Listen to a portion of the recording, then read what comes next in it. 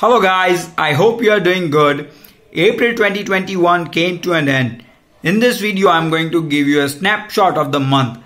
Talking about my application that is Loan EMI Calculator on Google Play Store, I got 490 installs. Talking about my YouTube channel, I got 233 watch hours, 27 new subscribers and 5 videos were uploaded. In this month that is May 2021, my focus would be on YouTube. So let's see how it grows. With that being said, the highlight of the month is I got the first dose of the vaccine and it was pretty challenging and impact was like uh, for two days I had a high fever and uh, headache. So, but after two days I got you know pretty good and uh, right now I'm doing fine. Getting that vaccine was pretty challenging I would say. Let me know about your experience guys. Have you got the first or the second dose?